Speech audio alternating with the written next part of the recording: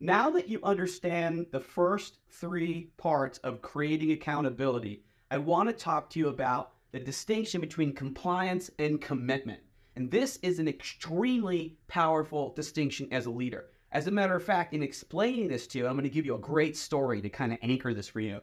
But in explaining this to you, I'm also going to distinguish some of the differences between leadership and management, right? The difference between leading someone and managing someone, which is really powerful stuff. And I think both are necessary, just like yin and yang, leading and managing. They're kind of two parts of the same process, two sides of the same coin. So not one is better than the other, but definitely there's a there's an effect of being a manager versus being a leader, and I want you to see that.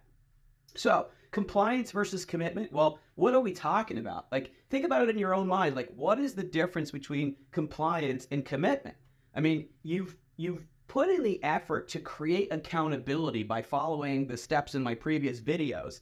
And the whole purpose of that ultimately is to have a team that wants to be successful, that wants to show up as their best, that wants to deliver, that's open to communication, that's open to feedback, right? And a team that's doing that, they're coming from a place of commitment. And commitment is created because of the, the, the leadership space of the leader, which is really to say the environment that you create around you right? Whereas other people, they're not going to create an environment of commitment where people show up with their heart, really wanting to win. They're not. They're only going to create an environment of compliance. And that's because that type of person is not leading, they're only managing. They're just trying to get people to get something done. They're not trying to empower people to be great in what they're doing. And that's what I want to talk about. So I would just simply define compliance as doing the bare minimum to get the job done and not get fired.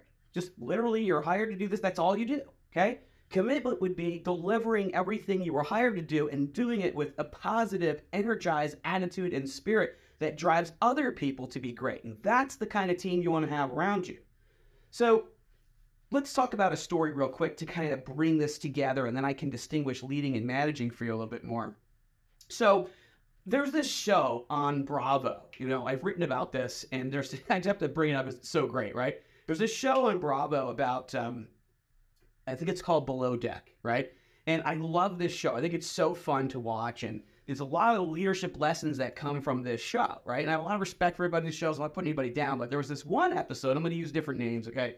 There's this one episode. Um, let's call the one guy uh, Bill, and we'll call the other guy Tom. All right. And so let's say Tom is the leader in this scenario, you know, the higher up, and uh, Bob is the, the, the employee of the worker, right? And so it's very interesting as you watch the dynamic between these two characters because because Tom is very exact. He's very military in a sense. His buzz haircut is very you know tight, perfect, you know structured, you know behavior in every way, you know, and he demands, he wants, and he demands like compliance in everything. And everything's got to be a certain way. Whereas Bob is like way more chill, way more relaxed. You know, he wears flip flops. He's got long hair. He's kind of, you know, doing his thing. And I'll never forget watching these two guys interact on this show. And I'm just kind of amazed at it is what I'm watching because Bob's basically just barely doing his job. He's barely wiping down the windows and swabbing the deck, you know, whatever, if that's the language. But he's barely doing it. And so Tom comes in. He's like, Bob, why aren't you doing your job? And Bob says, Well, I am doing my job. And Tom says, Yeah, but you're not really doing it. You're not really doing it. You're just kind of doing it. And you know what Bob says to Tom right to his face? He says, Well, you know, I'm not really inspired to do it. And I feel like you don't inspire me, Bob says to Tom, to his, his boss, right? He's like, I don't feel like you inspire me. And you know what Tom said to Bob? Tom says, It's not my job to inspire you. And Bob says, Well, you know, what can I tell you? I'm just going to do what I got to do uh, to not get fired. And that's about what I get to get out of me. And Tom is so pissed because he doesn't understand why he can't get the best out of this other person. And I'll tell you exactly why. It's because Tom didn't understand, in my estimation, he didn't understand the distinction between leading and managing. Which do you think Tom was doing to Bob? Do you think Tom was leading Bob or managing Bob? And you know the answer, right? Tom was managing Bob. The only thing Tom cared about was that Bob got his job done. Tom didn't care about Bob as a person. He didn't respect Bob as a, a sovereign being, another human on the planet that has, frankly, divinity and autonomy that is worthy of being understood and cared for and actually, you know, in, engaged with in a way that actually showed respect and even, you know, a uh, like a, like a friendly love in a sense. Like I think that word love, we always use it romantic, but if you come back to the Greek, right, eros, philia, uh, agape, right? Eros is romantic, philia is friendship, and agape is unconditional. Like if you bring that friendship energy to every interaction, I'm not saying don't hold people accountable, don't have clear rules, don't have clear process, and let people run over you. I'm not saying that at all. What I'm saying is if you bring a spirit of respect, caring, connection, desire for others to feel comfortable and safe, then you're going to start to generate the level of relationship that brings commitment, right? You're going to de- develop a relationship that brings out the best in people. What am I trying to say? It's this simple. Management's about what you're doing, it's about the process. Leadership's about who you're being, it's about the people. So when Tom is saying do your job, all he's focused on is the process. He's just trying to manage an outcome.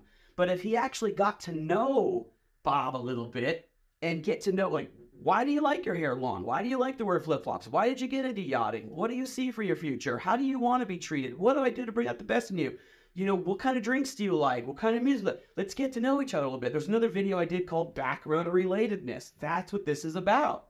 If Tom would have actually respected Bob as a human being who has the choice to do whatever he wants in life and actually try to connect with him at a human level, then he would have been able to connect at a leadership level because leadership's about people. Management's about process, leadership's about people. So if you want to bring out commitment in people, you can't treat people as just a cog in a wheel, as just part of a process. You got to treat them as a fellow sovereign being on the earth. You got to treat them as someone who's worthy of connection and respect and well being, and then get to know that other person, not as your employee, but as a human. And then inside of that relationship, that level of trust and communication, now you can make a demand on them to be accountable. You can say, hey, Bob, listen, we got to get to work, bro. Okay, here's what I need. I need you to do X, Y, Z. I need you to do it this time and let me know when it's done. You ready? Okay, go. Boom.